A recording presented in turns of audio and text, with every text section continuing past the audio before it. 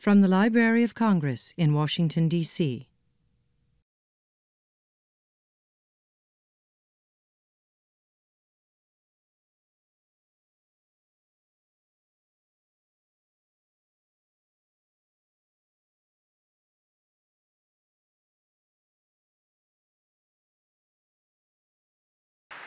Good afternoon. Good afternoon, everyone, and welcome to the Library of Congress. My name is Roberta Shaffer, and I have the pleasure every day of walking through this building as the Associate Librarian of Congress for Library Services.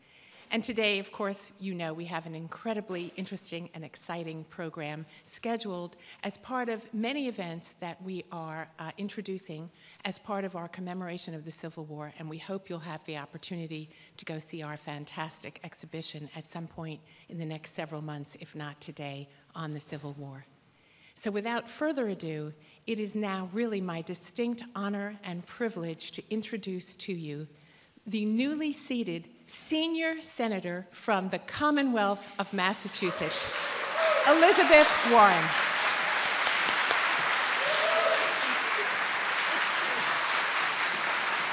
Hello. Oh, that's Thank you.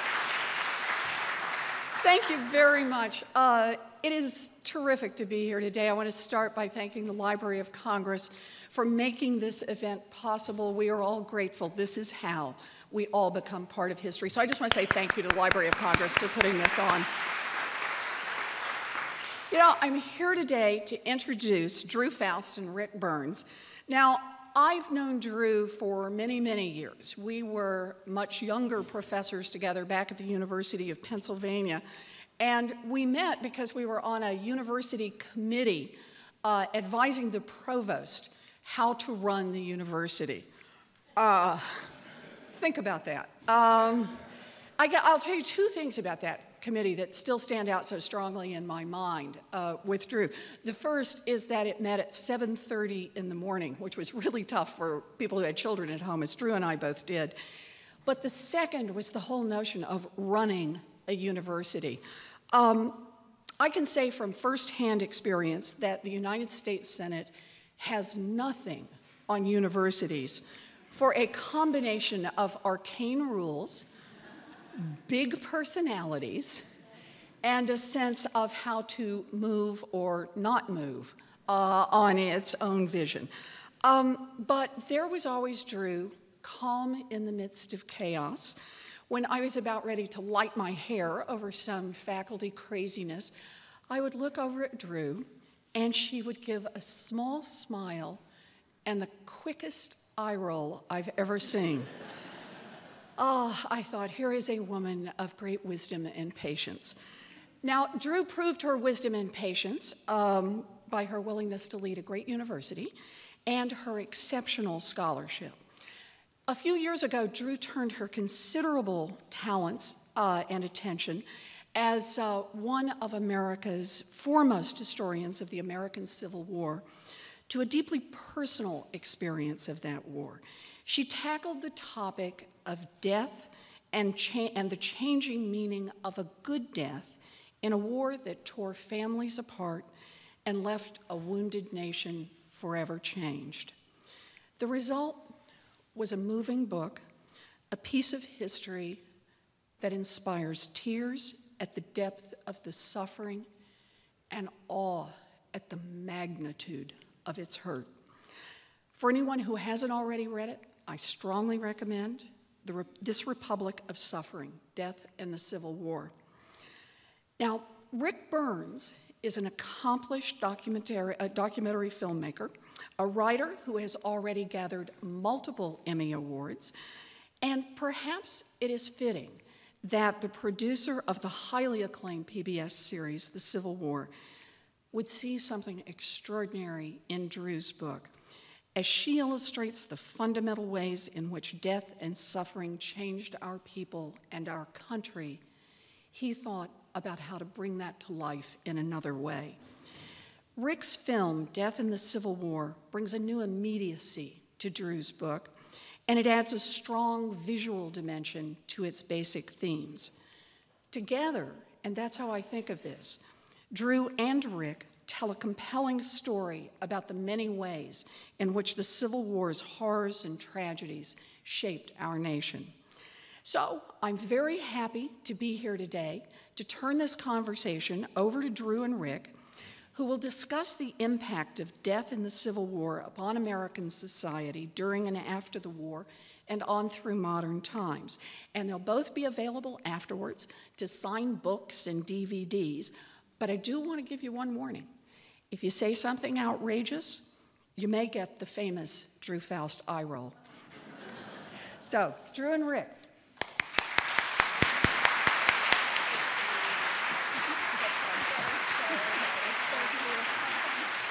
Have fun. Have fun.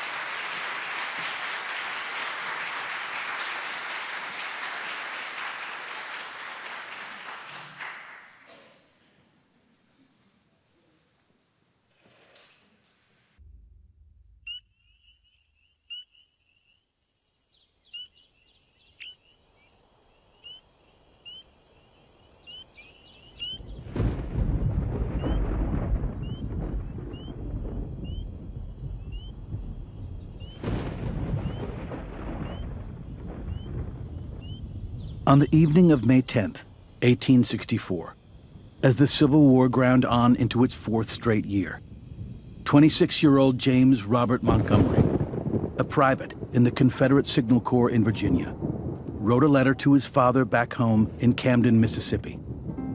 Dripping blood on the paper as he wrote, from the horrific shoulder wound he had sustained a few hours earlier. Dear Father, this is my last letter to you.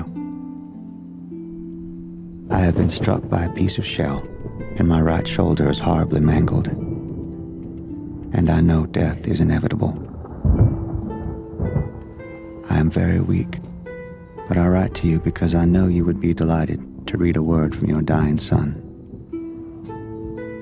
I know death is near, that I will die far from home and friends of my early youth. But I have friends here too who are kind to me. My friend Fairfax will write you at my request and give you the particulars of my death. My grave will be marked so that you may visit it if you desire to do so. It is optionary with you whether you let my remains rest here or in Mississippi. I would like to rest in the graveyard with my dear mother and brothers, but it's a matter of minor importance. Give my love to all my friends. My strength fails me. My horse and my equipments will be left for you. Again, a long farewell to you. May we meet in heaven. Your dying son, J.R. Montgomery.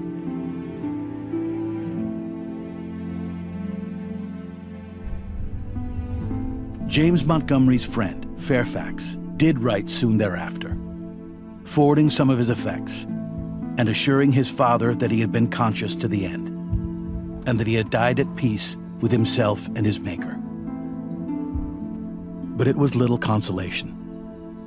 Though the grave had been marked, the family was never able to find it and were thus never able to realize their fond hope of bringing their dead son home.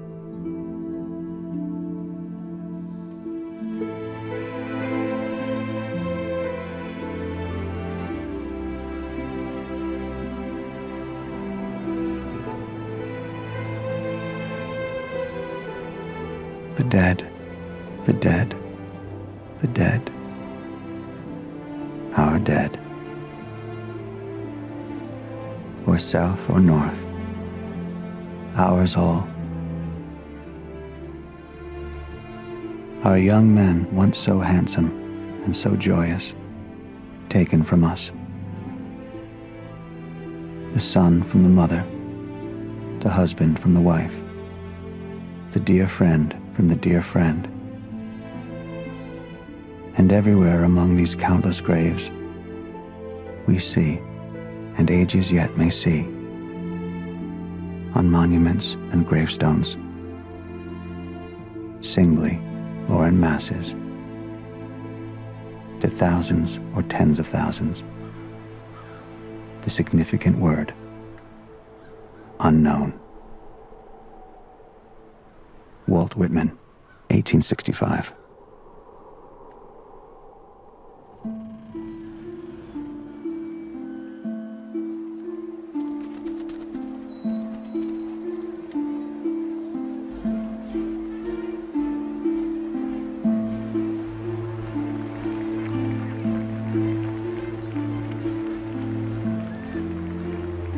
Nothing in the experience of the 31 million people living in America on the eve of the Civil War could have prepared Americans for what was about to break over them over the next four years.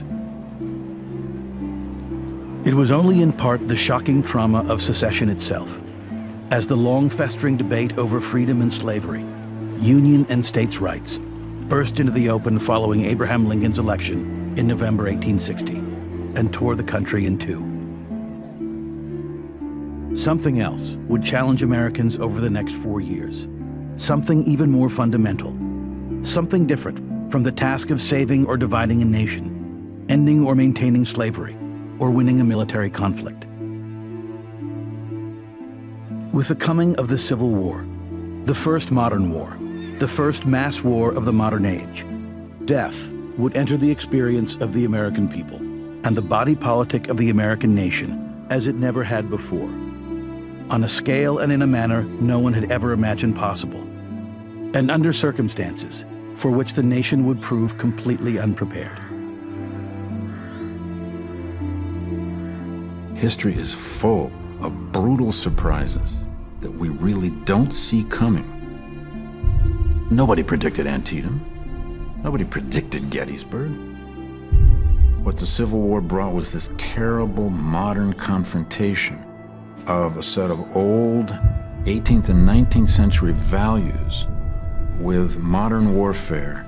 And the result, of course, is mass slaughter that is harder and harder for anyone to explain, even to themselves.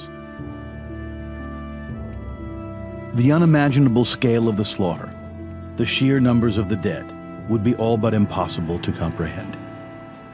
Nearly 2.5% of the population would die in the conflict an estimated 750,000 people in all, more than in all other American wars combined.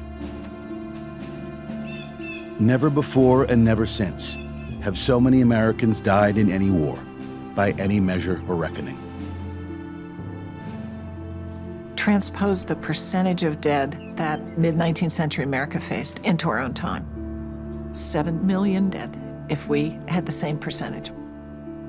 What would we as a nation today be like if we faced the loss of 7 million individuals? And so it invaded just about everyone's life in one way or another.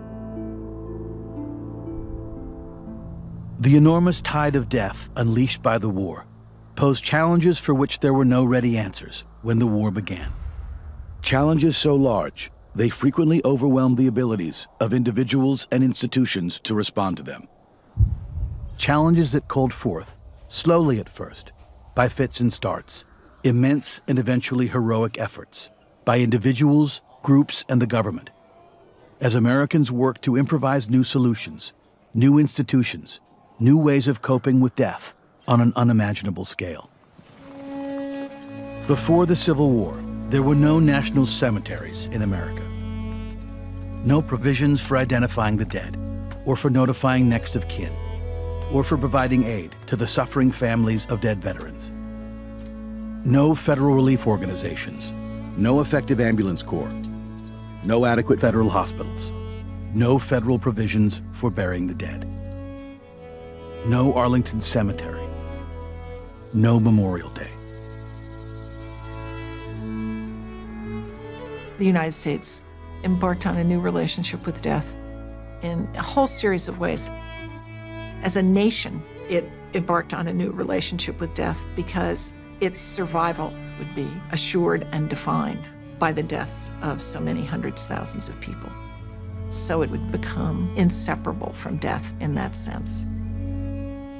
In a second way, the United States would develop a new relationship with death in a national sense because of the pension system, the reburial system, the bureaucracy of death that would transform the nature of the federal government. So it would become a different nation, a stronger, more centralized nation with more responsibilities, partly because of taking on these obligations that would grow out of Civil War death. But then there are all the changes for individuals who were living in a world of mourning and loss in the North and in the South, where ultimately 20% of white men of military age were going to die, and where everyone had lost a loved one. And so lives were shattered in undefined ways, often because so many of the dead were unknown. And ideas about what death was would be changed by the intensity and widespread nature of this experience. Certainly, as we think about the obligation of citizens to the state and what the state owes its citizens, particularly with regard to the thing that we, in some sense, is the only thing we really own, which is our own body and our own mortality. The Civil War made us rethink that definition as a country and as a people. What do governments owe to their bodies, to the bodies that make them up? And that becomes a central question in the war. In the Civil War, I think we come as a nation to the insistence that citizenship is predicated on the willingness of people to lay down their lives for the state. That's the absolute bottom line. So I think the war casts not just a long shadow, but a long sense of reality over who we are and how we deal with really those fundamental questions. You know, it's everybody dies, our mortality is assured. But the way we grapple with that reality changes over time. And the Civil War shows us that they did change and how they changed. And to be alive to that change is something that the Civil War, I think, asks us to do.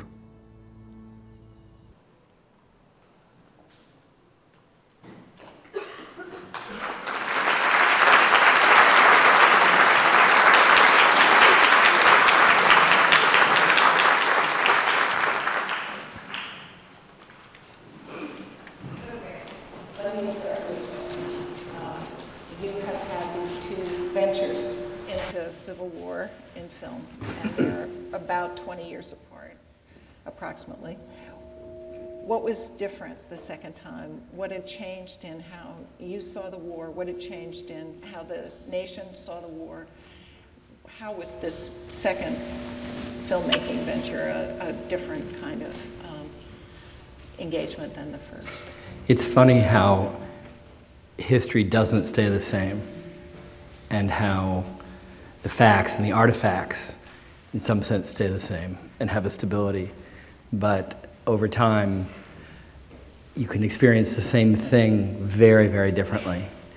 And starting with your book, but I think even continuing to the exhibit upstairs today, I'm very, very struck by how much closer the Civil War feels now in the last five to 10 years than it did when Ken and I were working on the Civil War in the 1980s, 84 to, to 1990. And in some sense, we we're closer to the centennial of the observance of the war in our mindset. And now we're at the sesquicentennial. And I think that we were doing the research and doing the writing and doing the interviews and editing 12 hour series between 1985 and 1990 in the Civil War. We were flying at a certain altitude, and it wanted to be intimate at times and personal, but also comprehensive and sort of epic and synthetic in its scope. And I don't really fault us, but I think that we missed something which had something to do with the irreducible experience of what it was to be alive at that time. And it was an experience that was hiding in plain sight, war equals death. You know, it's about death, isn't it?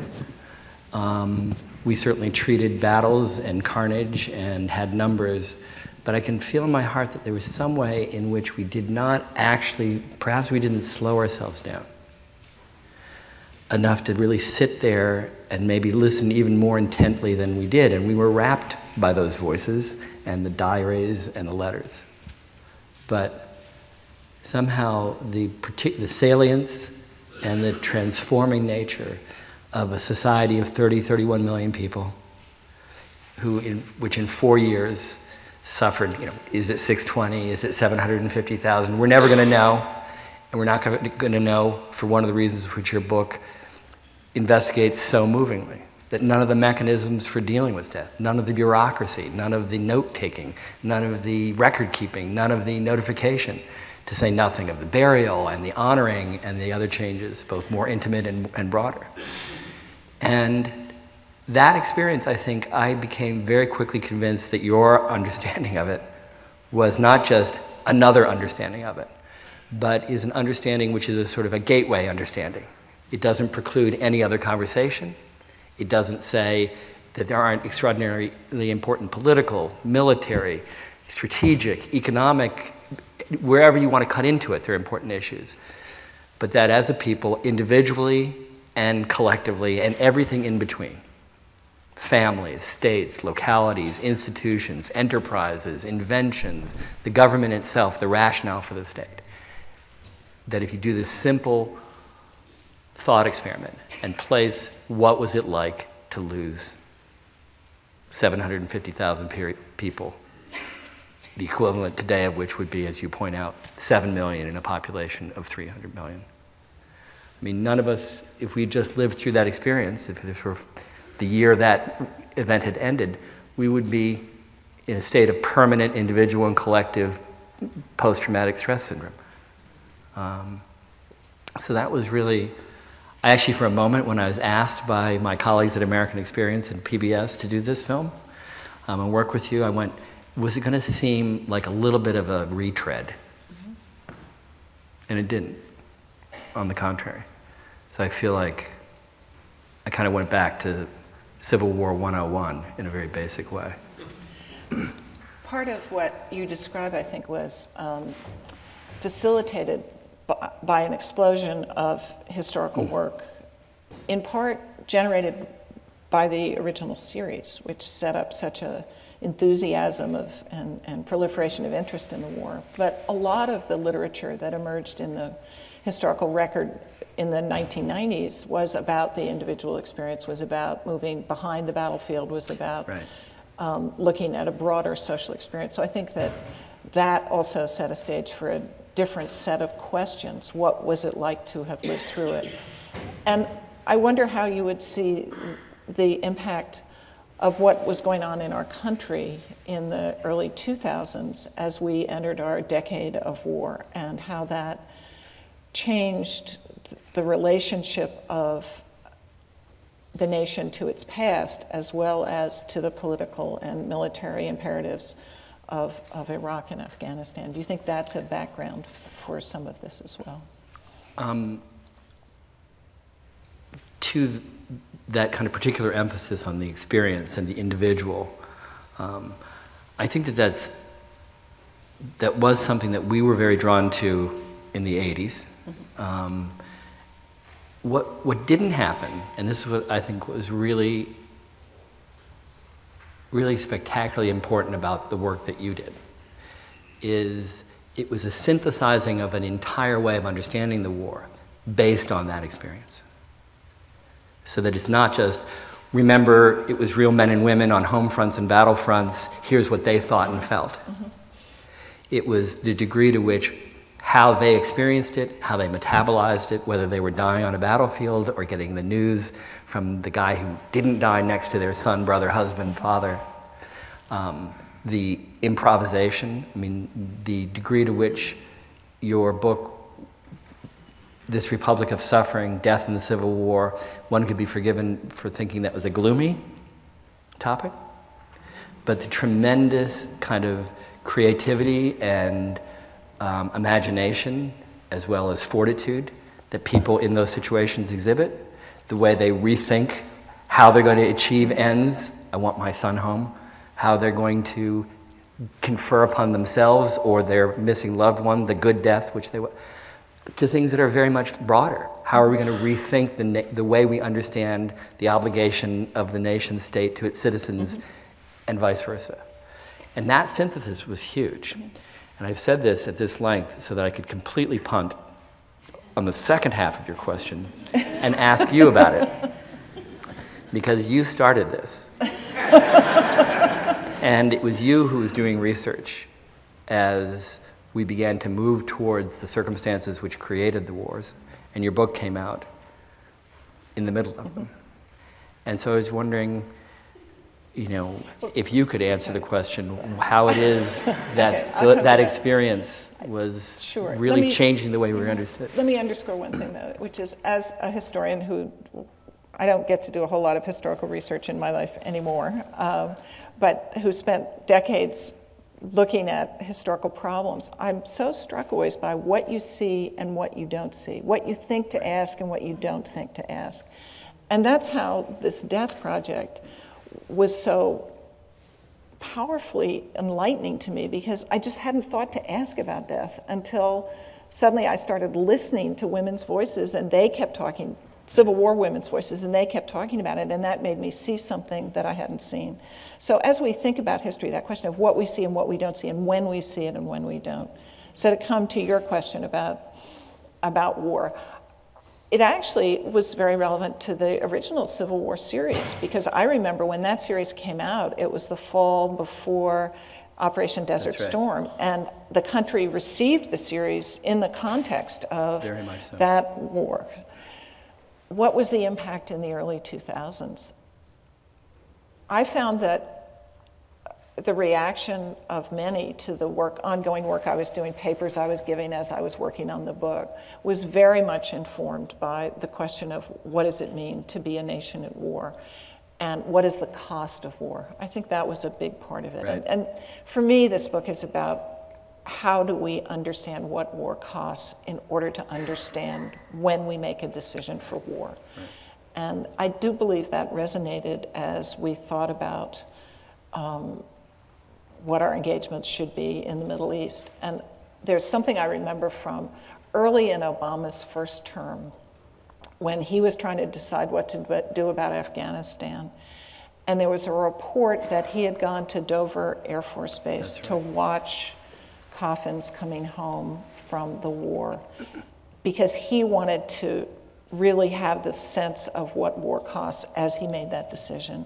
And I thought, that is in the spirit of this book, and that's what I want the impact of this book to be that we should ask those questions and always challenge ourselves in that way. So, does that does that I think respond? It does. I now mean, I you're back on the hook. You. I it. think I recognize, you know, in that something of the change in which often is really um, not articulated in oneself as you kind of reach out to do a project. What what are the how how am I how are my colleagues being influenced by events in the fabric of the world I'm living in now. I mean, I think we don't often think about that, but of course it has tremendous impact. I mean, the letter for the Civil War series that jumps out and remains probably for anybody who saw that series, the letter of all letters was Sullivan Ballou. Yeah. Um, and again, it was a, a soldier, an officer in this case, who was not yet wounded but was about to be, um, whose body, incidentally, was never discovered. I mean, he was, he, was, he was buried by Confederate soldiers in the Union hospital tent where he died. We didn't talk about that in the Civil War. We did not talk about the degree to which Sullivan Ballou's circumstances of his death and whether or not his body was going to be available to next of kin. It was only much later exhumed. None of that was what we saw. For us, it was Dear Sarah, because I will always, wi- I will be always with you in the darkest day and the brightest night. That, that sense of commitment and solidarity, that love can establish bonds, true enough. But that the particular circumstances under which that love was going to have to persevere, we didn't actually analyze in any more detail than Sullivan Ballou mm-hmm. died at the First Battle of mm-hmm. Bull Run, Run one week later. And in this film, our Sullivan Ballou letter is the document from James Montgomery, which begins the film. Mm-hmm. And that's why we began the film with it. Where I feel strongly that everything in your book is, in some sense, vibrant and encoded in that letter, both semantically in the words, in the blood that's literally on the page, um, and in, we were talking about this last night, in one phrase of it, which I know is exactly what strikes anyone who first hears it. I write you this letter as your dying son, knowing that you would be delighted, Father, to hear from your father's son.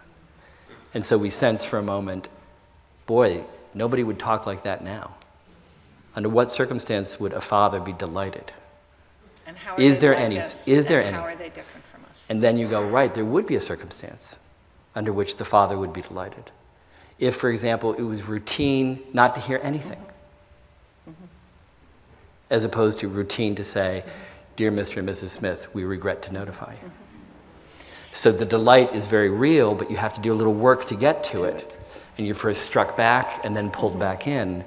And that, sort of the heartbeat of that, the systole, diastole of going, whoa, delighted? Of course, delighted, mm-hmm. is, I think, marks the difference between kids working on the Civil War 20 or 30 years ago and this particular project, where it just something else is now brought into a mm-hmm. very different focus. When I was doing the research for this book, I came across an uh, element of the history of death in the Civil War that I had had no idea of before.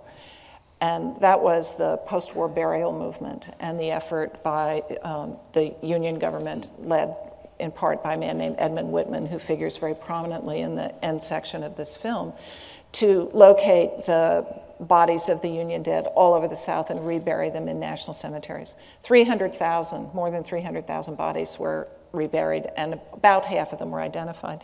And this is a, a wonderful part of the film, and it has visuals that I've never seen. I mean, it's just a marvelous uh, element in, in the story you tell. But that was something no one had really been interested in until we began to say what happened and how the nation reacted to its obligations to the dead. So that was something that you don't see until you look, and you don't look until you think to ask. And, and so that was part I mean, right. I mean, Appomattox in our series comes in the last episode. Appomattox comes in your third to the last chapter of your book and comes 40 minutes, 45 minutes before the end of our two hour film. Because I had not, as I think most people had not, stopped to think about what was it like to have a predominantly southern landscape littered with hundreds of thousands of unburied, scantily buried, recently re exhumed, desecrated graves.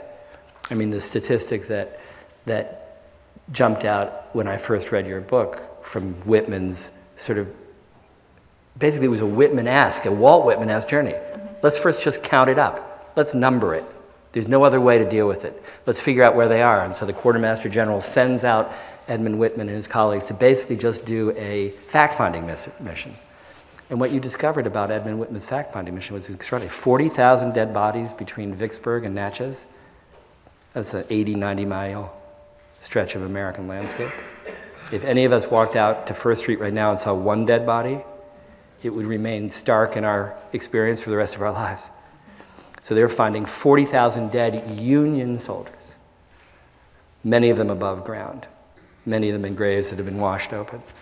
How does that affect a country? What do you do with those, just in the most the basic logistical ways? And so that sense that sure, Appomattox, Durham, North Carolina, hostilities cease by late April 1865, but you've got a country which is sort of littered with dead people and ha- having to come to terms with what they're going to do with it. It was an incredible story, and that is not a story that, I mean, how did you find that story? It was, was it recherche? Was it, I mean, how did you come across I Edmund remember very well it was in this city. I, I wish I could say it was in the Library of Congress. It wasn't, but it was in the National Archives. And I was sitting there reading this journal of a trip uh, into the western states, essentially, of the former Confederacy. And I started reading this thing and I thought, this is unbelievable. And it was Edmund Whitman's report, official report. Uh, to the quartermaster general about going and, and looking. And I didn't even know what it was. It took me a long time to figure out who had written it because it doesn't say Edmund Whitman on the front because it was an official document. So that made that connection. And here unfolded this extraordinary story. And from my point of view, there was an extra extraordinary thing about it. I began to wonder who is this guy, Edmund Whitman, and where did he come from? And so as I traced out his life and went backwards from this moment at the end of the Civil War, I found out he'd come from Kansas. He was older, he wasn't usual Army age, he was in, in his 40s or late 40s. He'd come to Kansas to fight with John Brown. He was an abolitionist. His concern about the dead was part of a kind of human rights concern that had begun out of his anti slavery views. So I began tracing him back. Class of 1838 at Harvard.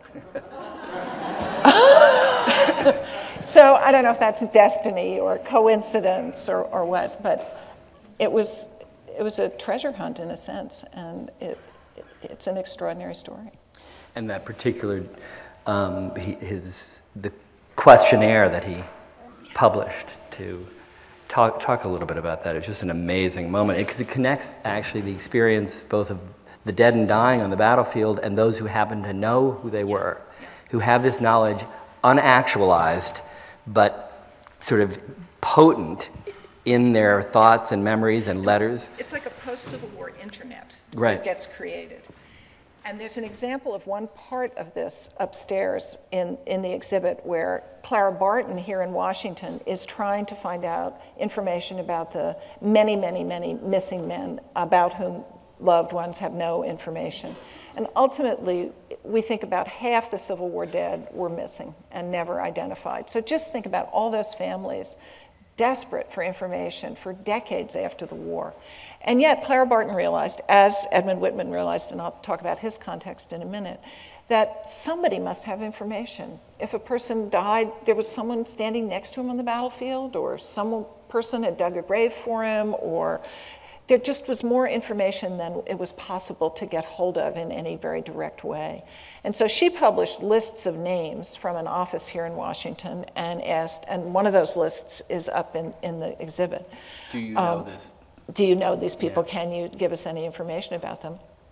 And Edmund Whitman started doing the same thing under a kind of official auspices, saying, send in anything you know uh, or any information you might have about soldiers who were lost in this western part of the South. And what he found was that there had been a nation essentially of record keepers, people knowing that it mattered and yet not having the established processes to record these deaths. And in spare time, um, soldiers would write down descriptions of graves and just keep them, thinking someday they would have somebody to give this to, to whom it would matter. Chaplains would record camp graveyards before the, an army moved on in order to have some record of the ground they were abandoning. And so Edmund Whitman became a, a kind of uh, information um, recipient of all this data that people sent him, and he used it to find a grave one mile from the railroad uh, south of Chattanooga under an apple tree. You'll recognize John Jones or John Smith or Bob um, Heller or whoever his name was because you will find that I buried him with some distinguishing artifact. And so Edmund Whitman very carefully went back and did all of that and just, tried to honor every single um, piece of information and match it with an individual who could then be found. So it's from, and it's from that work, which I just found so, and you can see his letters. I mean, there, he's got the letters, we're, we're, our camera is seeing the letter, and there's the picture of the grave by a little cartoon pear tree and the description. He's following it exactly there, and it's from that that Whitman is writing his superiors and say, we have a higher duty. Yes. We, the American people and our government, to find these people, to bury them in protected graves, to honor them and say we'll never forget them. And to so, have a national cemetery system ultimately. And to have a 70, 70 odd cemeteries around the yeah. South by the 1870s. So that's what I mean about it's not just this is what it was like to be the war. This is how this experience had this tremendous generative, volatile power in it mm-hmm. because it's so important. And just as that word delighted is so disconcerting because it doesn't fit with our assumptions. So I found when I began to look at this material, the notion that we did not have ways of identifying the dead, being responsible for the dead, burying them in honored spaces. It was astonishing to me. And I'd been reading things about the Civil War for, and living in this country and all the rest of it for my whole life. And that I didn't know that was shocking to me. Right. And the implications of that and how much changed in such a short period of time to create, during the Civil War years, to create the assumption now that we owe this to our um, service people who have sacrificed in, in behalf of the nation. This is a national obligation. Which we this, can't imagine. It can't imagine that it and wasn't it so. That seems like an yeah. immemorial commitment, yeah. an obligation. Yeah. But, but, but as, as our colleague Mark Samuel said, go try to find a Revolutionary War cemetery that was started by the national exactly. government. There is no such thing, an 1812 cemetery. So Ric, we're going to open this up in a minute, but I want to ask you one other question first, from another direction. There's been a lot of conversation in the past several weeks about the films nominated for the Academy Awards that were um, based in some way or another on history, and a lot of discussion about what level of accuracy does a historical film need to sustain? Um, what is historical fiction? You do something else, you do historical documentary. Right. Could you just talk about how you think about that a little bit and what is the obligation of someone representing the past in film or in, in writing too? I guess there could be that implication. But as you think about it in film, how did you react to all of that conversation in the press and how do you think about your mission and your obligations when you um, address the past? It's interesting because it feels to me that historical films, I mean, dramas, Lincoln, um, for example, maybe preeminently, you know, that we've made really huge stuff. It's a fantastic film. I mean, it has, people can argue about, you know, flaws in it or not. Um, does it go on too long after, at the end?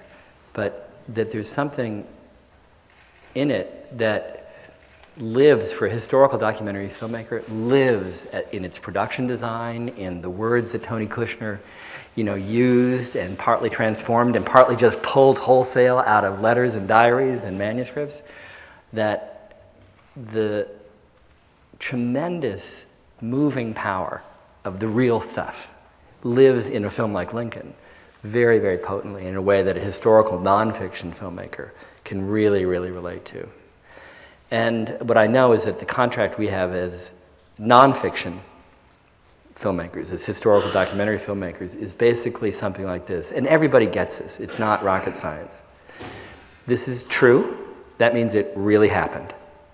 We are going to, in the way we present this, get as close to the truth in every conceivable way that we can, and sometimes we're going to fall short. There isn't a photograph. So that when you see that wagon wheel, you know that wagon wasn't actually going west. When you see, you know, the flickering fire um, at, at Appomattox, you know that nobody had a film camera there. But you also know that there's something about that reality, which the filmmakers, in good faith, are saying is going to bring you closer to the experience of what it is to be there. And so it gets back, very much back to what we were talking about getting close to experience. And there's a truth to experience which is related to objects, artifacts, facts, interpretations which have been certified and supported by the data but also has to do with some authentic attempt to close your eyes and say, what really was it like to be there? And I think that any historical documentary filmmaker I know, I'm sure would agree, 98% of the work you're doing is in trying to create the experience. Not get the facts right, order them correctly, get the interpretations, have people say things powerfully on film about it. That it has to do with you know, movies really happen, whether they're fiction or nonfiction, not up there on the screen, big or small. They happen in the dark interiority of people's selves.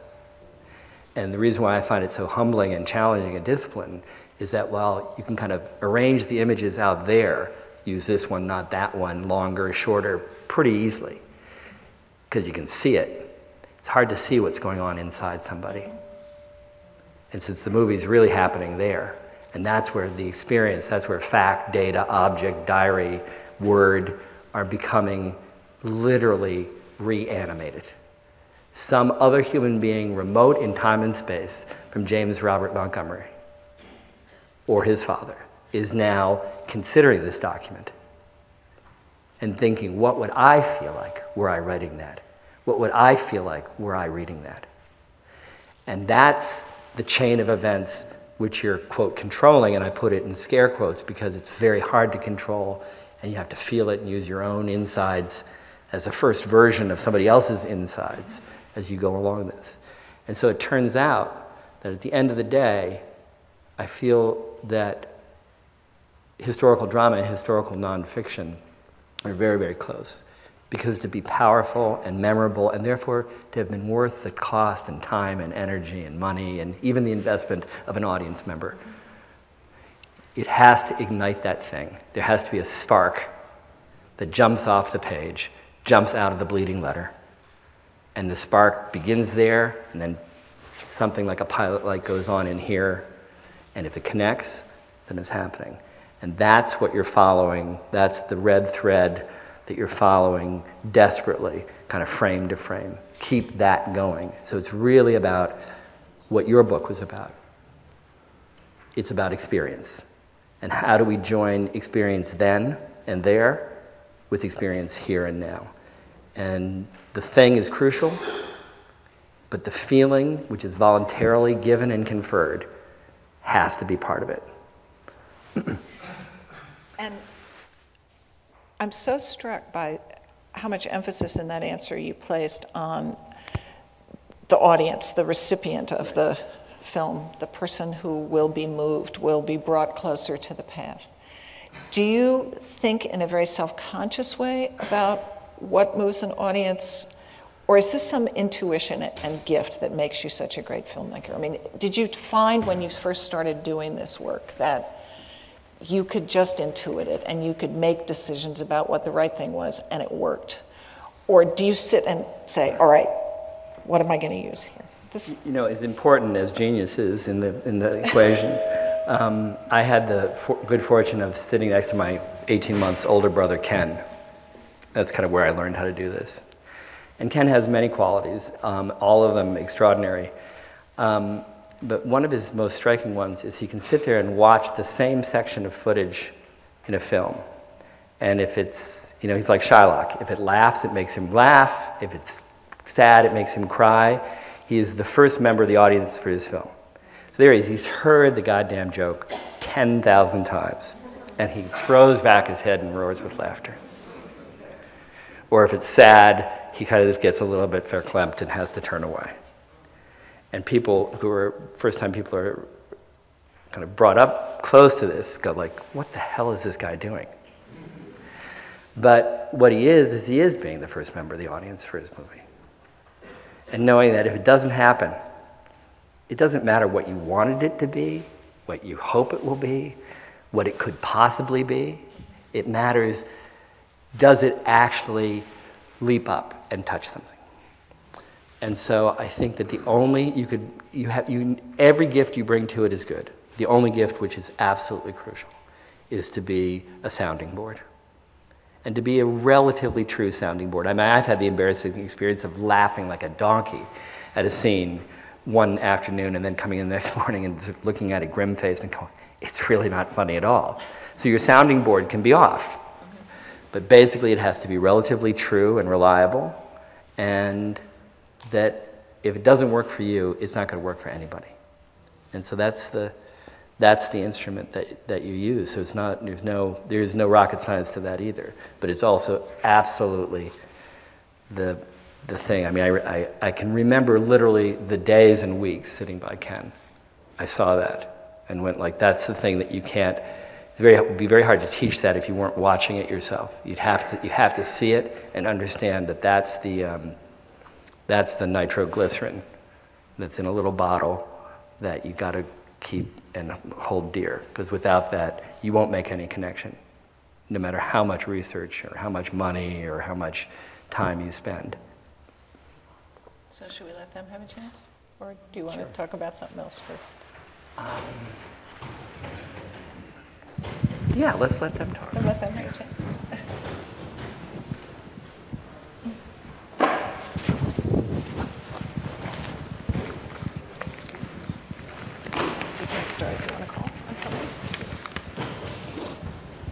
Over here. Hi. Yes. Hi, uh, this question is for Ric. Um, I wanted to talk about J.R. Montgomery's letter.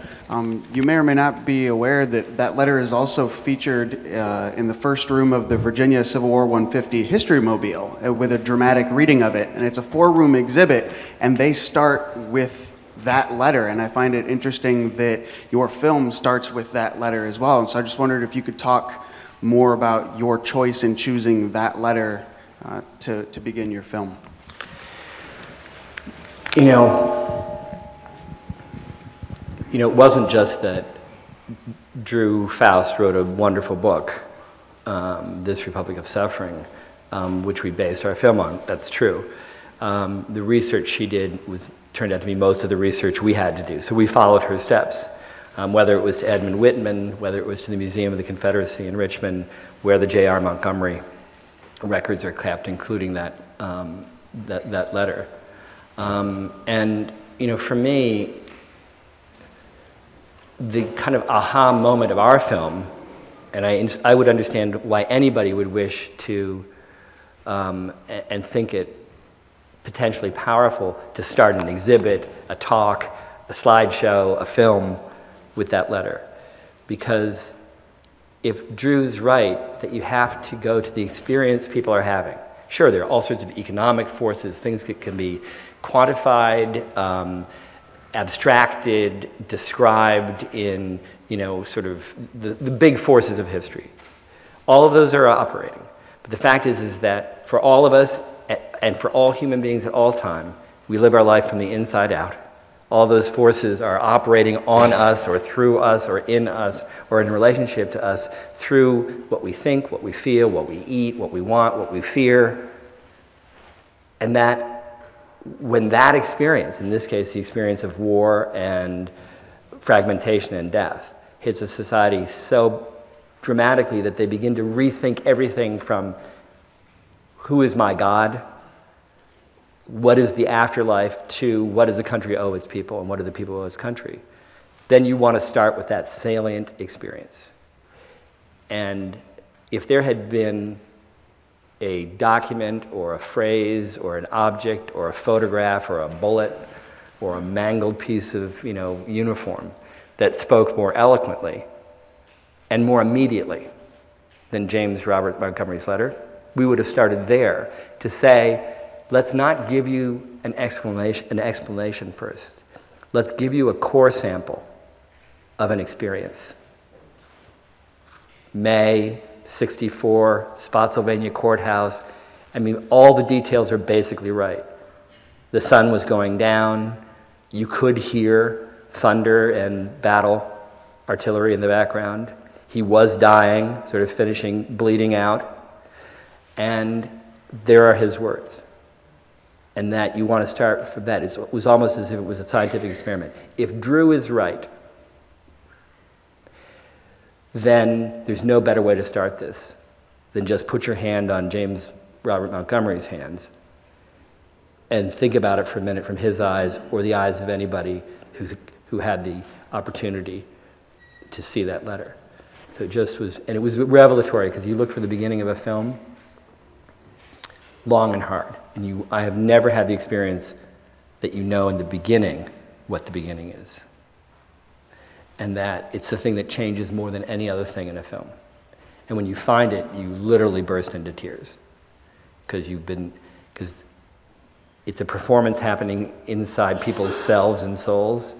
And that first thing, the A bead on the necklace, and then there's a B one and a C one. That A thing, if they're, if you're, if they're there, if they get it, if they care then to continue to B, C, D, you've established the most crucial, critical thing. And if they're not, you've failed. So there was just a kind of an aha moment, which then seems so self evident in retrospect that you go, like, why didn't I think of that in the beginning? But some of those self evident things I found humbly take a very, very long time. You do feel like a monkey with a Rubik Cube.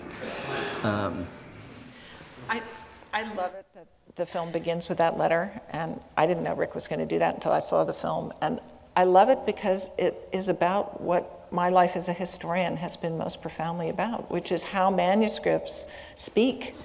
And if you go to the exhibit upstairs, there are a lot of manuscripts in that exhibit that speak. And for this to be the linchpin of this film, to make this manuscript speak so eloquently, and to make it a visual experience and to capture an audience into that letter. I just, for me, it said a lot about the subject of the film, but it also said a lot about how one does historical work and how one is most fully connected to the past.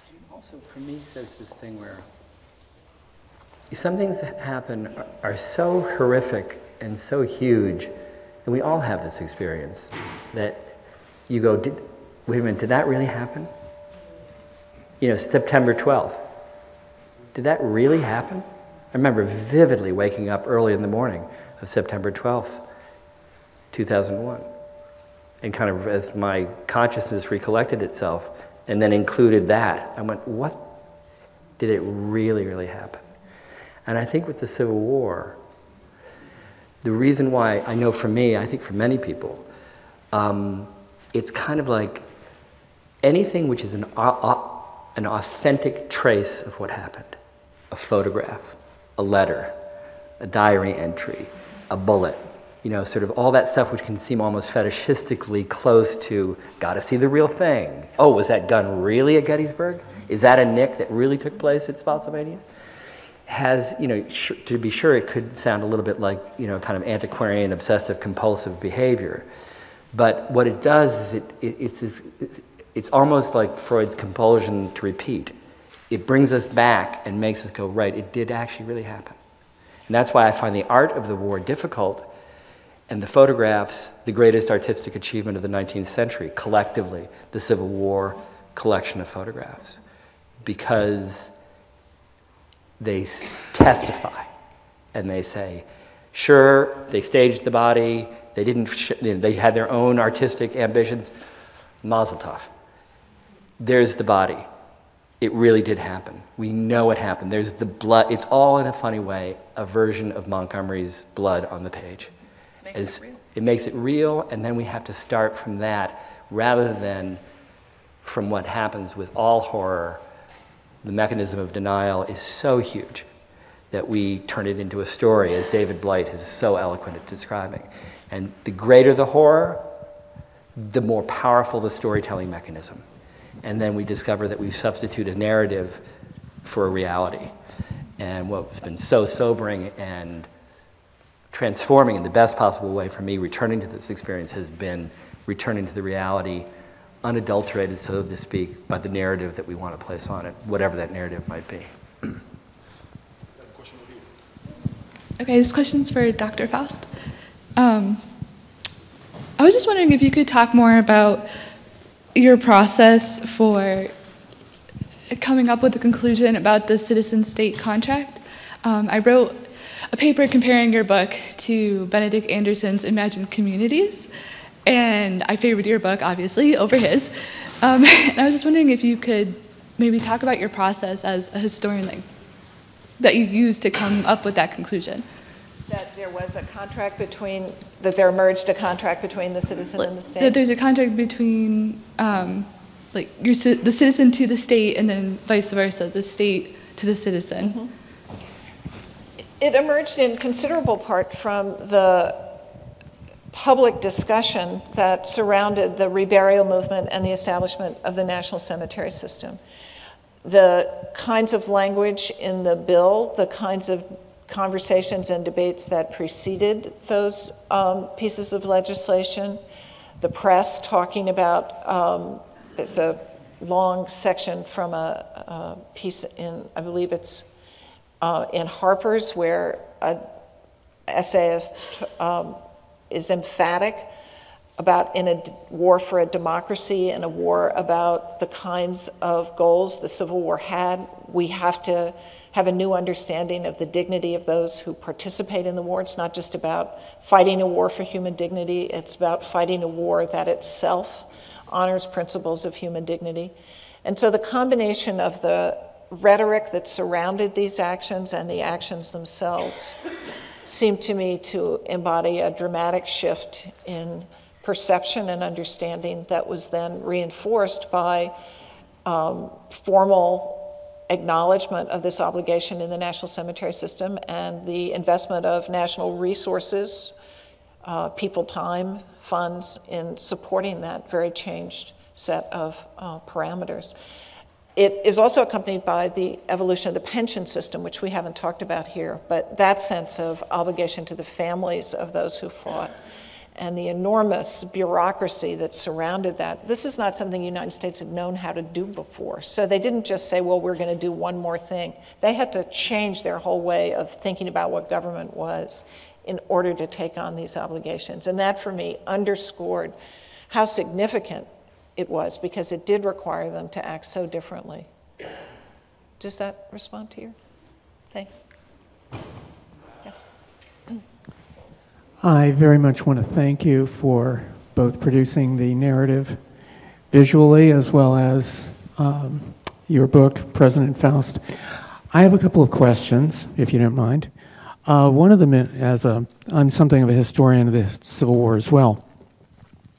And I'm curious about what you found in the documentary, personal papers, things like that, with regards to whether death in the war on such a scale shook faith, for example.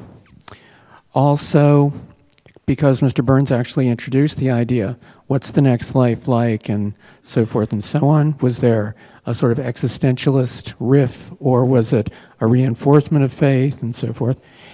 And also, whether there were any sorts of perceptions on the parts of the families and so forth that a lot of this was for them. I mean, a cemetery, if you believe in faith of any kind, isn't where the deceased is.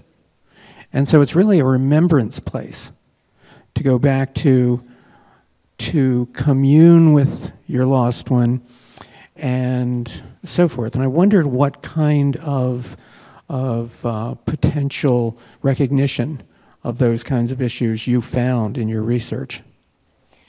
There was a lot of consideration of those issues. One of the quotes that for me embodies it most fully is Sidney Lanier, a Southern poet, saying of the war, How does God have the heart to allow it? And that for me kind of sums up a question that not just Sidney Lanier, but thousands of other Americans were asking themselves how do they sustain a belief in a benevolent, caring, engaged deity when they see this horror all around them? And so it requires a certain revision. Well, maybe God has some larger purpose that we haven't quite figured out. Or maybe God is more distant than I thought he was, and he doesn't care about every sparrow. He has large designs, but every sparrow may not be part of what he concerns himself with. Part of the response to the first way I posed the question was God must have larger designs, and therefore we must make sure this war is about something that matters, and that we take from all this bloodshed a commitment to creating something that is lasting and worth all this loss. That, in essence, is Lincoln's formulation in the Gettysburg Address. Um, to say that all of this, he doesn't put God in that particular part of uh, rendition of the equation, but it often was framed in terms of divine purposes for the nation or for humankind in light of all this cost that had been incurred. Uh, so that was one response. I also found a lot of um, speculation in individuals' diaries about losing faith, um, Southerners who said, if we lose the war, then I can't understand how there can be a God, and, and the very foundations of my faith have been shaken. In most cases, I found these people returned to one kind of belief or another, but I think it required a certain revision of understanding. They had anticipated that their cause was just, they would win. Um, God would make them win. Both sides wanted God on their side. Lincoln was wiser. He said, It'd be nice to have God, but I've got to have Kentucky. That was a good, a good uh, way to frame it. Um, so I think he understood. Well, in the second inaugural, he talks about how both sides think that God was, was their sponsor. So how do we understand all of that? And, and his second inaugural is another response beyond the Gettysburg Address, one that's much more rooted in religion about what the cost of the war was and why it had to be paid. So, searching in, in the realm of religion and belief for an explanation is very widespread. Um, you asked about heaven. There's a lot of speculation, a lot of books published about heaven and the nature of heaven at this time. Uh, an effort to make heaven seem less cold and austere and distant, uh, less forbidding, something that seems more comforting to those who are thinking of their loved ones having gone there. Spiritualism is an expression of this too. So, in all the realms that you're talking about, there's a, there's a great deal in the, in the documentary record. Yes. I want to thank both of you again, add my voice to thanks to both of you for the wonderful work you've done in helping us understand some of the deeper meaning of human tragedy of war. And I want to ask Dr. Faust and perhaps Mr. Burns if you have information. As a small part of that revised contract between the people and the government. What happens during war and what is the reciprocal relationship? And you've talked eloquently and shown us eloquently what happens with burial and reburial and creation of national cemeteries and officially honoring each dead person. Back to the sub question of the identified and the unidentified dead in the war. How quickly did we move to a system in which the Army uh, routinely supplies to every combatant an indestructible identification tag? We know that by the Second World War they were ubiquitous. I don't know about the wars in between. And, and by the Vietnam War, we can't even find an unidentified soldier to add to our tombs in Washington. But, but between 1865 and 1941, what did we do about identifying every soldier in an indestructible way?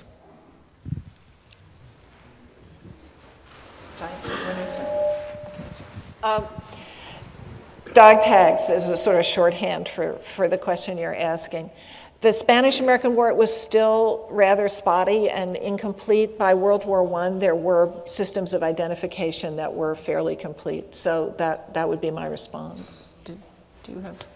I mean, certainly the impetus to know and the sense that there's an obligation that is a national obligation was firmly implanted by the war. And the degree to which it was then implemented bureaucratically right, was something that took subsequent conflicts to animate it and bring it to life. But there's no question that you have that this very strong sense that that the government is going to. it's why the Gettysburg Address is so crucial to us as a doc, as a document, as as a handful of words, because it articulates what the nature of that obligation is and makes it seem unrescindable and also so compelling that we just nod as we nod at a hymn that means a lot to us. And it's because at the center of it is the best conceivable articulation of what that obligation is. And it goes both to those known and those unknown. And I think it's so striking that, of course, in 200 odd words, Lincoln wasn't going to name anybody by name. But in a sense, by not naming anybody, he was saying that the fate of being unknown not known to is, in a sense, the peculiar modern condition now of death and dying in war. And it hadn't happened that much before. Now it's happening on a big scale. So we can't rely on friends, family, the known twos to gather around the dead and, as Thomas Lynch says so beautifully in our film, you know, get them where they need to go, from where they fell to the hole in the ground or the tree or wherever they happen, their, their ceremony takes them. That the Gettysburg Address is this extraordinary, not just articulation of the responsibility, but it is like a funeral dedication, saying all these people, known and unknown, now have a collective known to a collective parent called the government, who get a government that gets its authority from the people, and therefore owes an enormous amount back to those people. So whether we literally knew them, whether we never heard of them, whether we literally have their name, but might not know them anyway, we are going to take upon ourselves this obligation. They're not individual deaths anymore. They're not individual the deaths deaths. that belong to the nation. Or they're deaths as in, they're individual insofar as they're Yeah. individual, but they belong to the nation. And that dynamic is what your book is so kind of amazingly carefully charts over this very compressed period. How did it come about that if you said he died, the address of that phrase was a wife, a mother, a father, a brother, a friend, a colleague. Now you say he died, and the address is the entire nation. Mm-hmm. What an amazing transformation to take place. And the tact of the president to have been able to, with, as you point out, the bodies in the coffins by the open graves at Gettysburg.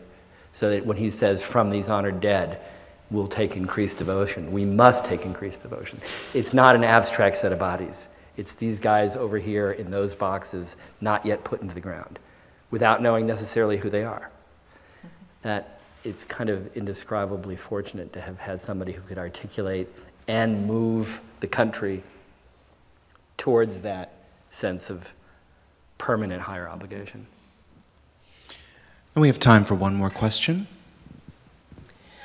Uh, you spoke quite a bit in the book about um, the importance of the, the good death the, the, to um, the soldiers, to those who are around them, and, and most importantly to their families, that they died one with God, that they died bravely. Um, do you think that attitude is, is something that was a reflection of our culture at the time? When did that sort of attitude start, and when did we no longer have that attitude? Well, it was very much a part of um, Christian religious tradition in the United States, but it had originated in as early as at least the 16th and 17th century with instructional books about how to die well. And these ideas were broadly shared and then reinforced in 19th century Victorian domestic culture by a whole set of expectations about the home and what the home was supposed to be and why the death needed to be located in the midst of that very Victorian home. So it had a particular expression in the mid 19th century, but it was something that was much broader in its, in its understanding. I think it still exists to a considerable degree. Um, I was very struck in, in 2000 when my father was dying in a uh, part of the Winchester, Virginia hospital, not too far from here, 60 miles west of here. They had a special section for, it was like a hospice. And they created the good death for my father. And we were there, but it was extraordinary to see the interaction of how the hospital staff was thinking about supporting us as, as much as him and what that, those moments meant. And I sat there at the time, in the middle of working on this book, thinking about all these soldiers' deaths that I'd read about. My father was actually a soldier in World War II, so in some sense that seemed all, um, all very consistent. But I kept invoking the language in my head of what I'd read from the Civil War period as I experienced in the early 21st century, first year of the 21st century, this death in our own time. But what differs strikingly in our time, I think, is that we try not to think about death during most of our lives. We try to deny it and put it aside. And a big part of the good death in the 19th century was making your knowledge of death and the end that will come to your life a powerful force in how you live your life and shape your life. And so that acknowledgement of the ever present reality of the limited nature of our existence was central to 19th century Americans in a way I think it's not so much in our time where we want not to think about it until we have to think about it. So that's probably more than you really wanted to know in answer to that question. So we're done. Thank you very much. This has been a presentation of the Library of Congress. Visit us at loc.gov.